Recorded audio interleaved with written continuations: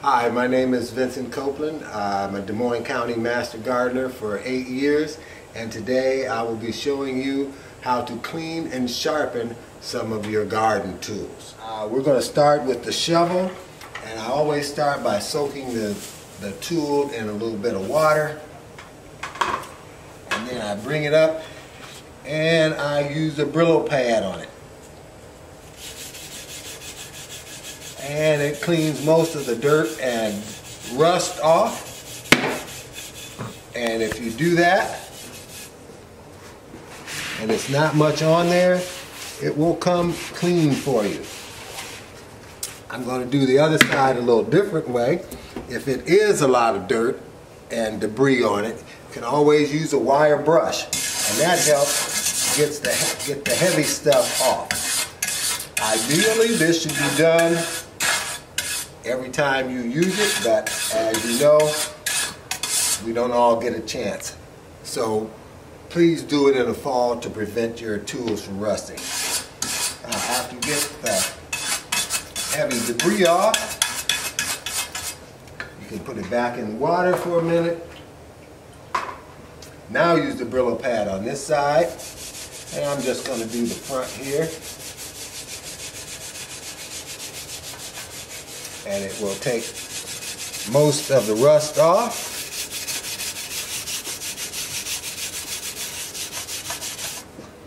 And then we'll wipe it clean.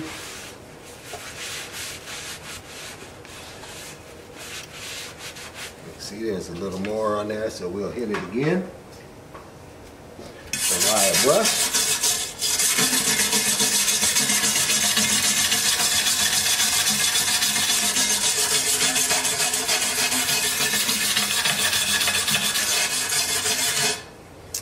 wire brush. Brillo pad.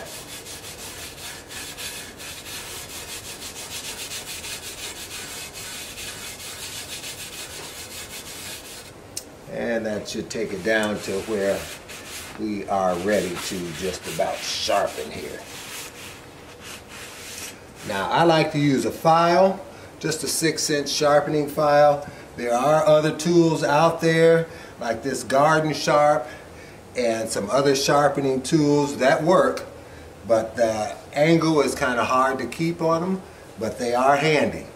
I like to use a file and you just go at it at a 45 degree angle nice quick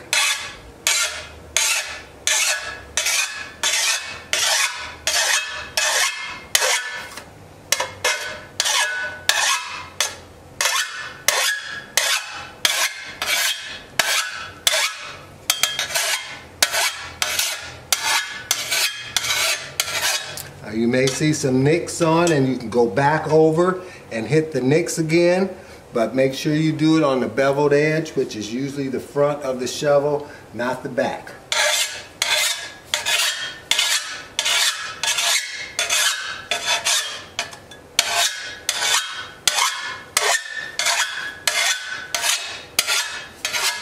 Now after you've got it sufficiently sharp or the way you want it the final touch for the metal part, I usually put a little vegetable oil on a cloth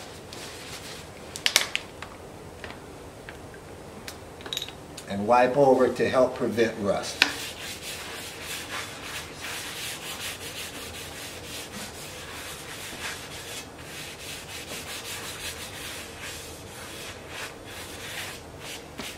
And there you have it. Now for the handle, lot of times we leave them out and the handle gets kind of rough and you can feel along the handle to see if you have any slivers or splinters. Then if you do, you just take a piece of sandpaper, sand it down naturally until you don't feel any splinters. And then use some linseed oil to preserve the wood.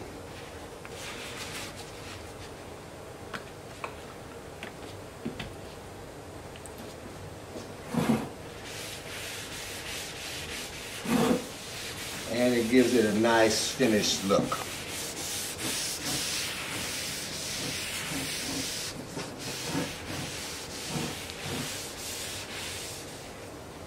Okay, there you have the shovel.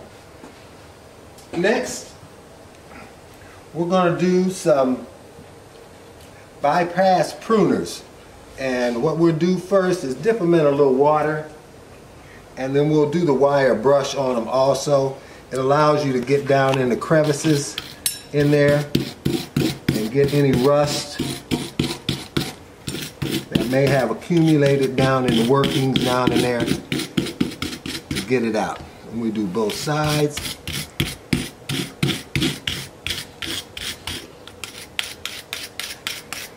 Dip it in the water again.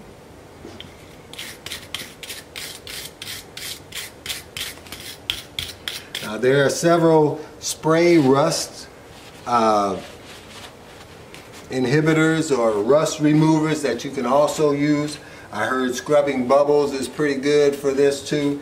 So if you do use scrubbing bubbles or something like that, use it before you use the wire brush and before you use the Brillo pad. I'm going to use the Brillo pad now. Clean them up. Actually, I think I'm going to take these apart with my pliers.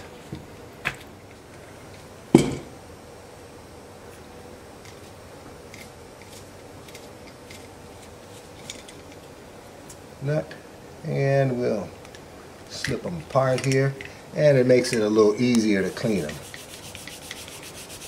Just Brillo pat them down.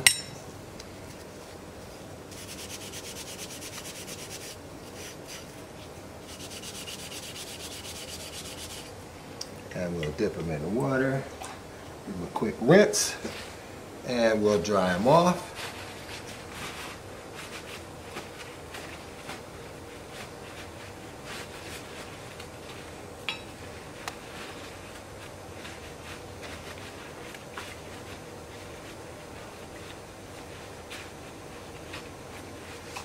Now, to sharpen these, we do the same thing. but I'll use a file this time, but you'll go along the edge, the beveled edge of the pruner.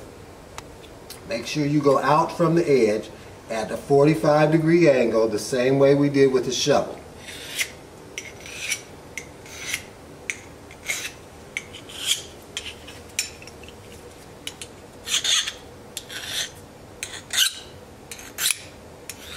Generally, it doesn't take too many times of going by with a file for the bypass pruners.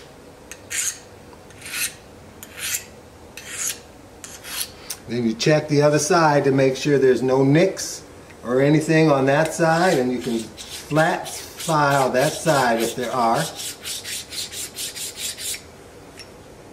And there you have your bypass pruners clean. Now you want to do exactly the same thing. Well, this time instead of vegetable oil, we're going to use a couple of drops of uh, 3-in-1 oil on the mechanisms to keep it moving smooth.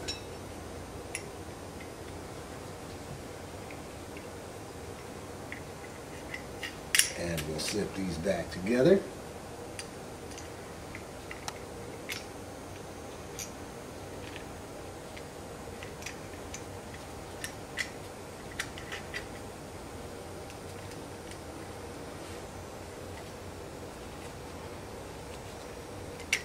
And we're just going to sit those to the side. Now, we have some snips, and a lot of people like these snips because they're handy and good for cutting flowers and things. And you, you sharpen them and clean them the exact same way. These are brand new, so I'm not going to clean them or sharpen them, but that is the exact same way we do with the bypass pruners. Just a couple drops of oil and we're all done. This is the way I clean my tools. This is just one way. There are several other ways, but I found this is a great way to clean your tools. Thank you.